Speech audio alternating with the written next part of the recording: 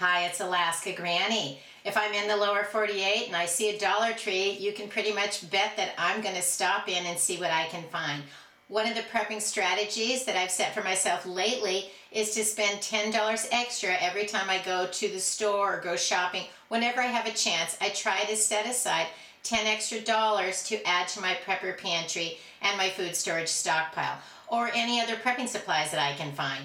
Let me show you what I got on this trip to the Dollar Tree. I did go over my $10 budget a little bit, but not very much, and it was for a good reason. The first item I picked up is the Toasted Oats, the Cheerios. I like Cheerios. This is a good buy. You can easily pair it with one of the shelf stable milks from Dollar Tree. This time I decided to try it with oat milk. Toasted oats with oat milk. I don't know, maybe it'll become a new favorite.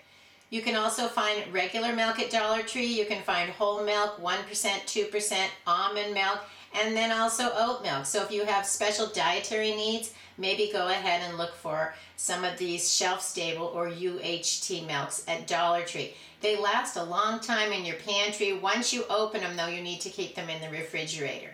So I have a whole week's worth of breakfast just with these two items from Dollar Tree. The next item I picked up at Dollar Tree is a can of sliced peaches. These are the Pampa brand, which I didn't look carefully. I've purchased some of the Pampa brand before, and they were from places like Thailand and Peru, and it didn't dawn on me to look at it. This can is actually from China, and if I would have realized it's from China, I wouldn't have purchased it. I'm just against buying food from China if I can help it. But sometimes we slip up or whatever, and we can't just assume all food from China is no good. A lot of it still is, but we need to be cautious and be reading labels more carefully. Don't just take it for granted what a label used to say. Continue to read them because products change. It's still good to have an extra can of fruit. Maybe it'll go good with my breakfast. Next, I picked up a little jar of Kraft Real Mayonnaise. This is a delicious mayonnaise. It's in a nice handy size, especially now when we might be wanting to stretch our budgets. A big jar of mayonnaise may not be in your budget, but a small one can be. Depending on how much mayonnaise you use, this might be a good size for you.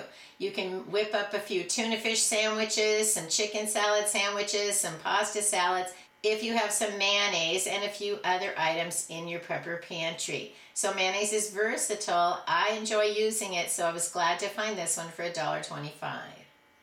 Once again, I found the sweet chili sauce at Dollar Trees. This is a very delicious sweet sauce. A lot of the foods that you find in places like Indonesia, Malaysia are very spicy, but this one is sweet. It's nice to have a different flavor profile when you're trying different kinds of dishes.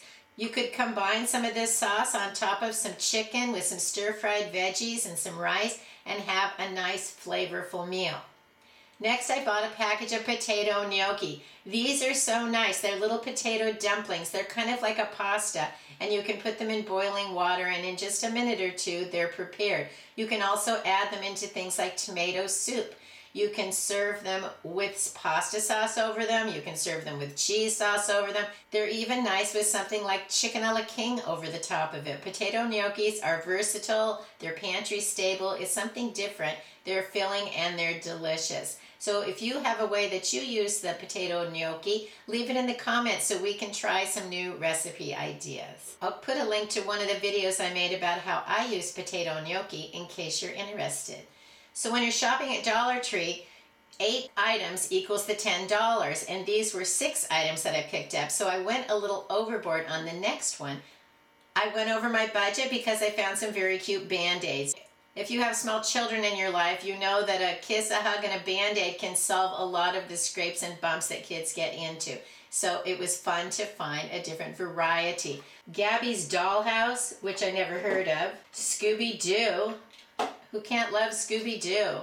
My Little Pony, SpongeBob, and PJ Masks. So that's a nice variety of bandages to have when my grandchildren are visiting me. So those are the items that I bought at Dollar Tree on this trip, a little over $10. I got a lot of food items for my long-term food storage stockpile. I also got some first aid supplies with my supply of Band-Aids. Let us know what you're adding to your stockpile. What are you finding that's hit or miss at Dollar Tree? Sometimes we can find things, sometimes we can't.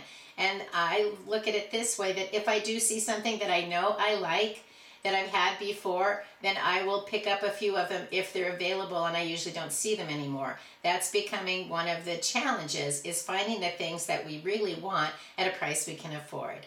I hope you'll like my video, share my video with someone else you think might enjoy it. Please subscribe to the Alaska Granny channel.